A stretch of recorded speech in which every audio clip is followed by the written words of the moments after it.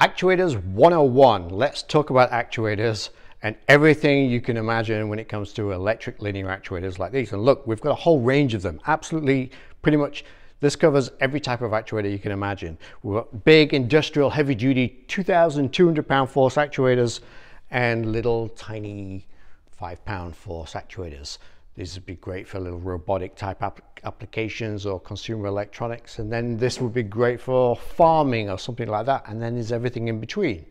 So we're going to take a few apart so you can see how they're built, what's inside them. And uh, we'll also run a couple so you can see how they work.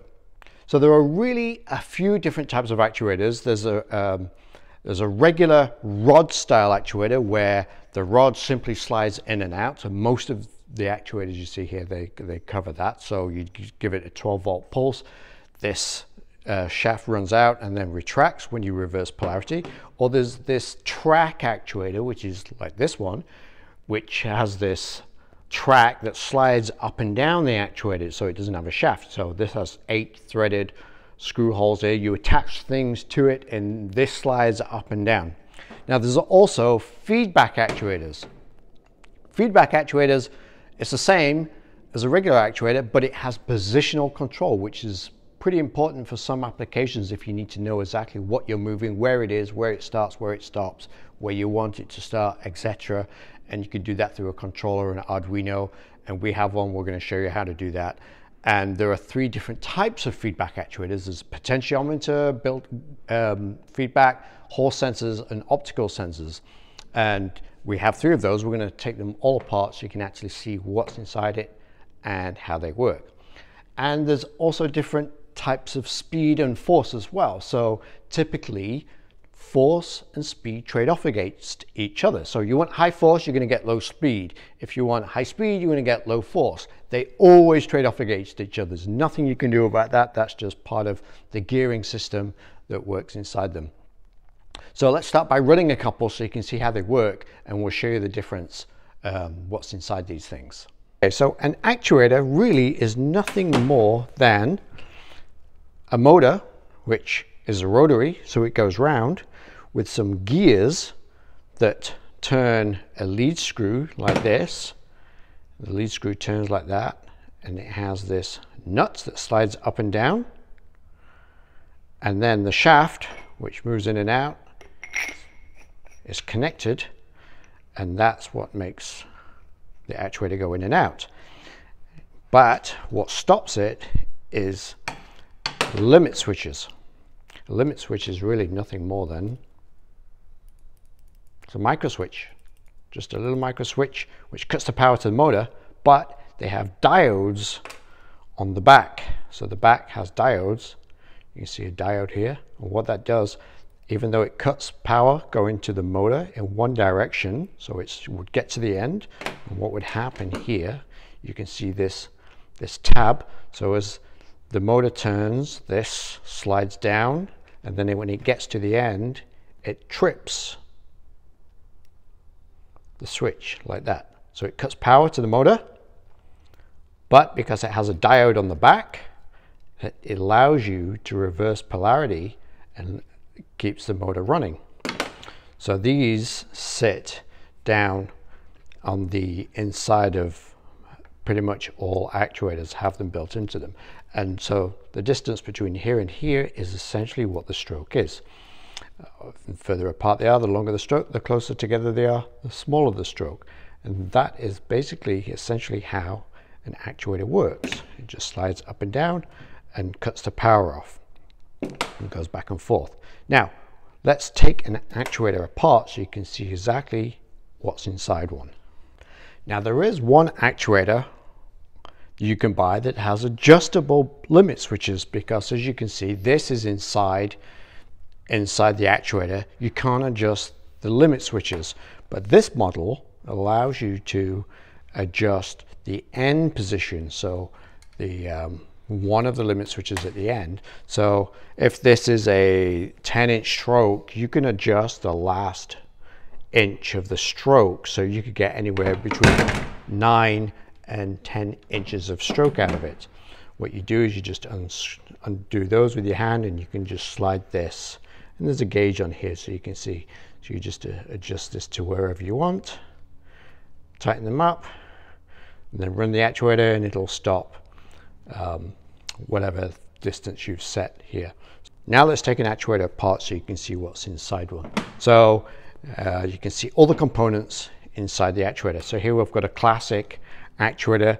This doesn't have feedback. We'll take one apart with feedback and you can see exactly what's inside it. So it's basically made up of a motor, the lead screw inside here with the um, limit switches, and then in here we'll have the gears. So we'll take, I've pre-taken this apart here, I've left one screw in, but let's take the base off so you can see what's inside. There you go, there's a gasket that sits between them and you can see all the gears. So there's the, the pinion from the motor. So as this turns, the gear ratio here is what dictates the force.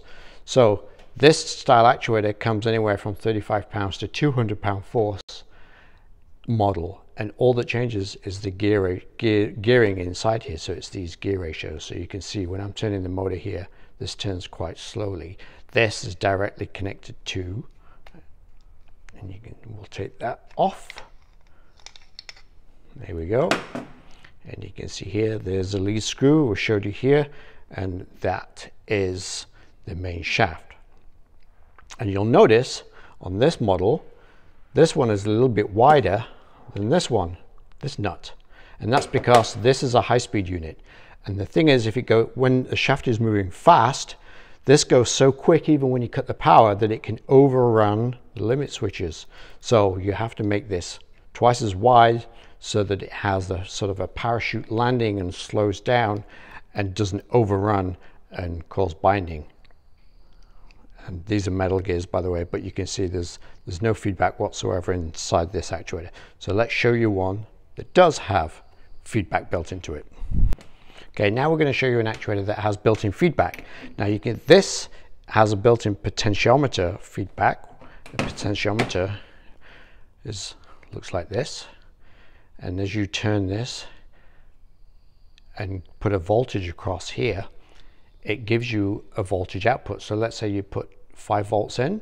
As this turns from one end to the other, you get a reading of between 0 and 5 volts, where 0 would be an actuator all the way extended and 5 volts would be all the way retracted and everywhere in between would be the position of the shaft and uh, this actuator as you can see is slightly longer body than the regular style classic actuator these are essentially the same actuator but the body is longer because it has to hold somewhere inside this thing. So let me take it apart and I've pre-done this already so to speed this up. Here we go, take the gasket off. And there you can see there's two wire harnesses now, one for the power and one for the potentiometer. And what happens is there's extra gearing in here. So as the gears inside turn, that turns this uh, potentiometer and it takes 10 turns for this to go all the way from one end, 5 volts, to the other end, which would be 0 volts outputs. So you can see how that worked. So the downside is, is these feedback actuators take up a bit of space because you need to house this with some gears. That's basically how that works. Now let's show you a different type of feedback actuator. Now let me show you an optical feedback actuator. So this is uh, the Firgelli OS series and it looks like a regular actuator. The housing is a little bit smaller because optical sensors don't require quite as much space as a um, potentiometer feedback actuator. So I've already kind of pre-taken this apart so you can see. Now I'll show you inside. It has this little circuit board and this plastic disc with holes in it spins around it's connected directly to the lead screw so as this turns around this optical sensor right here sends light through the holes and every time it passes through the holes it counts. Now the downside of using an optical sensor or a Hall sensor which works in the same way is that it doesn't give you absolute position like this does. What this does, it just counts pulses. So you have to, whatever control system you have, has to have a homing type of sequence built into it so that it goes all the way to the one end, sets the count at zero, and then as it goes to the other end of the stroke, it would count all the different pulses and then divide it up over the entire stroke to give you a very precisional control of the distance an actuator moves. So as you can imagine, this was to turn just one, I can't really move it here, but if it was to turn just one small amount, the, the stroke movement here for move, going from one hole to the other would be absolutely minute. So one pulse here is around one micron of movement in the, in the uh, rod. So that's quite um, very, very good positional control. Let's see if we can take this out so you can see exactly how this works too. You can see that the little sensor here and the disc just slides straight through there and that is the disc and that's how that one works and now let me show you how a Hall sensor works okay so we've already showed you two feedback actuators the potentiometer style and the optical uh, sensor style. These units, these Super Duty actuators, they have Hall sensors built into them. And Hall sensors work on a magnetic type of um, system. And the way that works is on the motor here, you can see, and we'll unscrew this as well, so you can see exactly where the Hall sensor sits. And that is the Hall sensor PCB. And you can see this magnetic sensor. So what happens is the motor has a, we'll pull the armature out and this is what it looks like inside a, the motor, two magnets either side and then the coil, big bearing on the back, the commutator here. And then this is a magnet. What happens when that sits inside here and, sp and spins around these two sensors here they're called Hall sensors. There's two of them. So you can sense direction. Take a closer look at that and what that does is that counts the revolutions so every revolution of the armature which is this this is the armature every time that rotates one this uh, counts one pulse and sends a pulse feedback into the controller. So you can see there's four wires here. So you have four wires because you've got two Hall sensors to measure um, direction. So it can tell which direction it's going in. And that sits right behind the motor. And for the motor, you can see the two brushes. See these brushes, they're on springs. And they make contact with the armature here and that puts power into these windings which creates a magnetic source here and that's what makes it rotate basically. So there we have three types of feedback. We have Hall sensors, potentiometers with a built-in potentiometer, built-in potentiometer like that, and then the optical and the optical ones work just like the Hall sensor. You put in 5 volts and it counts pulses. So the Hall sensor and the potentiometer, uh, Hall sensor and the optical are actually very, very similar, very similar style. Okay, so how do you wire up an actuator and how do you power an actuator? Well, very simply, you need a 12 volt power supply like this one. And if I'll just show you very quickly how an actuator runs, you just add the two wires to a power supply like that. You reverse the wires and the actuator changes direction. But you don't want to do it like that. You need a switch. So here are typical rocker switches that you would use to actually control an actuator manually. And there's two different types. So there's ones like this. So see how it stays in position, up, stays there, down, stays there, and you have to switch it back. Or ones like this, these are called a momentary switch because they flick back into position. They flick back to the center when you let go. Whereas these, they stay there. So this is a sustaining type, this momentary because it just stays there momentary. Now let me show you how you wire these up. You notice on the back they all have six connectors and that's because these switches they have two poles. You need two poles to be able to reverse the polarity. That's how these switches work. So let's quickly hook one up so you can see. And very simple we use this type. You add we're gonna this can be to the actuator. They have a jumper wire because you add one to each corner one to that corner one to the other corner like that. And we have another one here exactly the same. It's just it's just got a pigtail. So we just splice them so we add that one there. This one goes across to the other corner. So these two will go to the actuator and I've just put alligator clips on so you can we can uh, easily show you. And then the two center ones will go to the power source. So we'll just do that one there. Have another one here do that so we'll just connect these to the power source and it doesn't matter which way around it could be either way around, it doesn't really matter.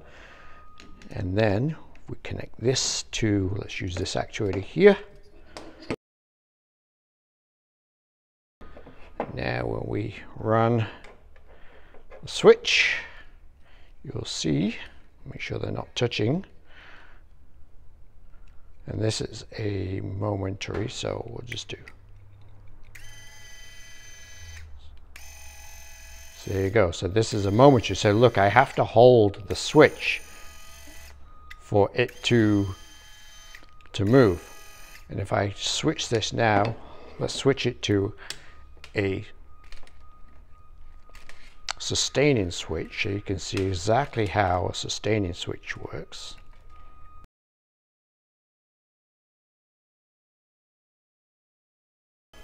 Oops, and this one even lights up. So now look, it just will go all the way. Now it's stopping, but it's not burning out the motor because actuators have built-in limit switches that cuts the power off to the actuator inside. Now you've seen what an actuator looks like inside with an optical sensor and a, and a potentiometer sensor. What does that mean? What does that mean your actuator can do? So let me show you in very simple terms. Here is a Super Duty actuator. This has built-in feedback and we're going to use this controller to demonstrate what an actuator can do that has built-in feedback. So I've already pre-wired it into these, these connectors that come with this controller. So it's simply two wires for um, power and then the other four wires are for feedback. So we'll just plug that in. Now these units have uh, hall sensors built in, which if you remember, hall sensors still require the program to have a calibration or sort of a homing sequence. So that's the first thing you do. So we'll, we'll first we'll go actuator set and do calibrate.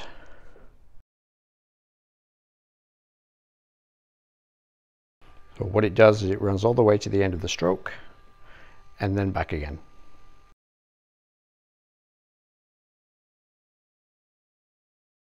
So these units are slow, slower because they're a high force. So these are 400 pounds. So remember I talked about the gear ratio that changes inside. It's a trade-off. You want high force, you get low speed. So these are a little bit slower because they are 400 pound force. So it's done a full calibration. So what the computer's done is it's run a full cycle in and out. It's counted the pulses that are in the, um, the Hall sensor and now you have full positional control. It's home button, manual operation, so extend. So now it'll extend to the position I already told it to and stop.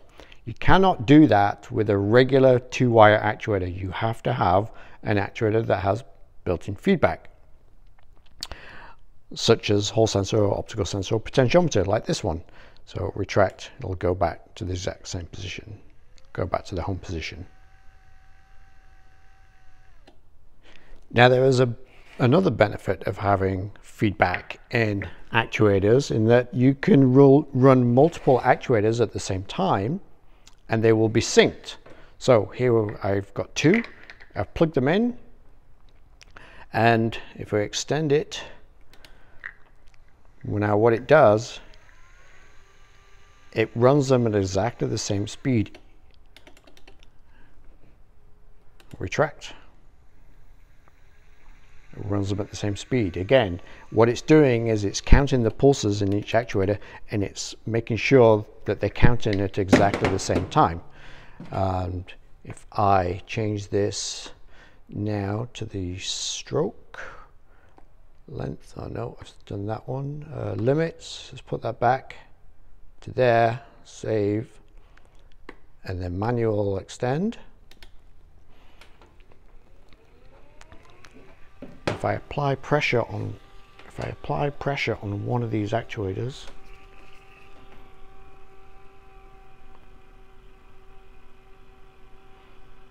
what it's doing is it's sensing that one is going slower than the other and so what it does is it slows down the other actuator to compensate for the speed difference. And you'll see they will stop at exactly the same time. See? And that's because it has the built-in feedback. Now let's plug in a, a, different actuator that also has feedback so you can see the difference. So here I've just plugged in a, um, a micro actuator. This is a Firgelli 20 millimeter stroke and uh, it's pretty small for a small stroke. It's quite long though and that's because the motor has to sit inside the body behind the gearbox and then behind the shaft Plus, and this has feedback built into it, which is quite amazing that such a small actuator that has uh, built-in feedback, but I can just show you this running. So it's quite a small unit, but can still push five pounds of force. And um, yeah, that just shows how you can have feedback still in a small actuator. Let's talk about noise because it's actually quite an important thing um, why is one actuator noisier than another? For example, this one, we'll just, I just connected it to the controller. This is the Super Duty one. It can push 400 pounds of force, but that is quiet. Listen to that. That's a very quiet actuator. But if I run, say this um, classic style actuator, it's quite noisy. So why? What is the difference? Well, let's show you. Let's take them apart. Let's take them apart so you can see what's inside one actuator and, what makes it more um, noisier than the other. So this one we showed you earlier. This has the spur gears inside. They're metal gears and it's the same actuator. And what happens is this type of gear, when these gears are engaging with each other, they're basically smacking each other, each other's gear, and that's the noise that you hear. Whereas the Super Duty actuator is super quiet because it has built inside to it this helical gear system. This is a worm gear. It's a worm gear drive system, and even though it's they're made of nylon, which is very good for um, uh, efficiency, uh, it's also very quiet. So that's why, and we'll just show you again, we'll retract this one. Because there's not spur gears, they're not hitting each other the way they do with this. So this, the motor turns, it's a worm, turns this gear, which then turns this, and then it has this helical drive system which turns this, and that turns the lead screw. So it's a very different setup inside. And that is what makes the noise what it is. Now these units are a little bit more expensive um, because of that, but if you don't care about noise, then these units are just fine. If you do care about noise, and let's do a noise test again. We'll run this and run this at the same time.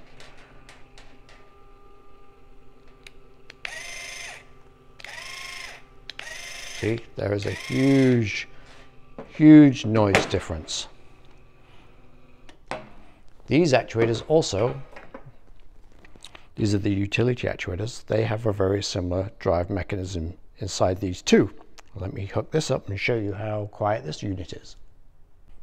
Okay, so I've just plugged in this utility Firgelli actuator into the controller so you can hear how quiet this unit is.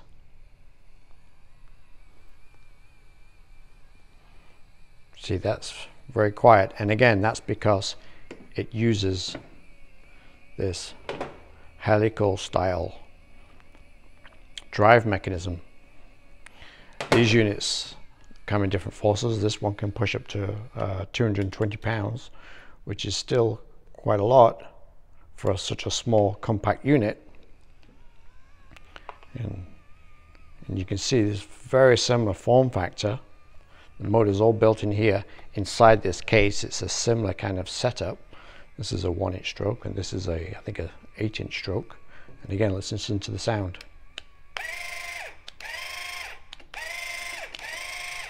Big difference. So that explains why some actuators are noisier than other actuators.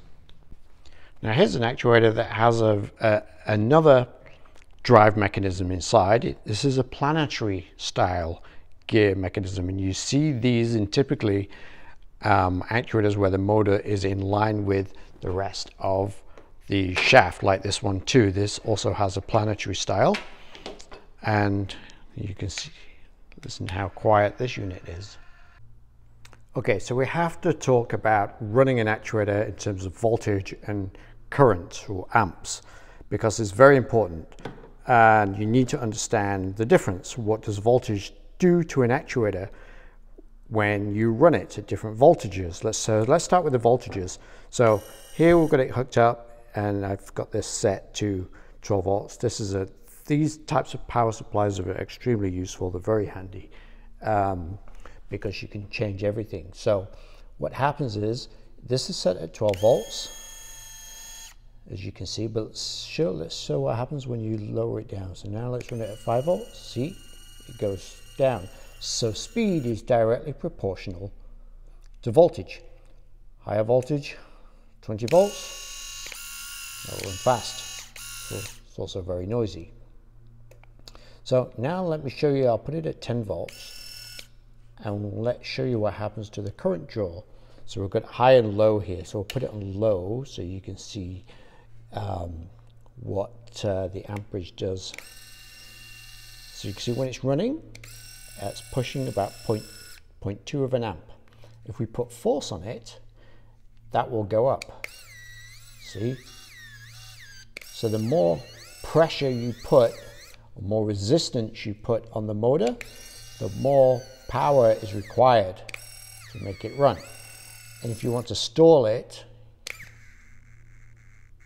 it would eventually burn out the motor, which is not good. If I put it on high, you can see the maximum current draw when it's at stall. So this goes up to 3 amps maximum. So now see it pulls almost 1 because I've put it on high, so it's almost 1 amp. So that's the maximum power. If we use a larger actuator with more more force. So we'll go up one step. We'll use this model of actuator, which as you can see, it's slightly bigger. It'll require more current draw to make it run. But you notice it barely moves because there's so much more power in this. I need to put it onto low mode to be able to see. So you can put it in low mode for you to see the difference it makes. So now I've hooked up a larger actuator. This is the track actuator. It's got a bigger motor. Um, I've set it to 12 volts and you'll see the current draw. So if we, if we put pressure on it, you can see the current draw go up. And that's just because the motor needs more power to overcome the external force that we're applying to it. So that's why you see the current draw go up. So it's important, therefore, when you're installing actuators, to make sure you use the right size wire gauge, the right thickness of wire for the size of, uh, size of motor. So if you look at this, this big Power Max actuator, look how thick these wires are because this one takes around 10 amps at full load and so it requires these much thicker wires whereas a smaller actuator like this one this takes about 3 amps at full load and so you don't need as thick a wire but it's important to know the difference between the two. So that is Actuators 101. That is the basics of actuators. That shows you how an actuator works, what's inside an actuator, how they run, what is feedback control on an actuator, what does that mean, and what can that do for you. And I think that covers pretty much everything we can.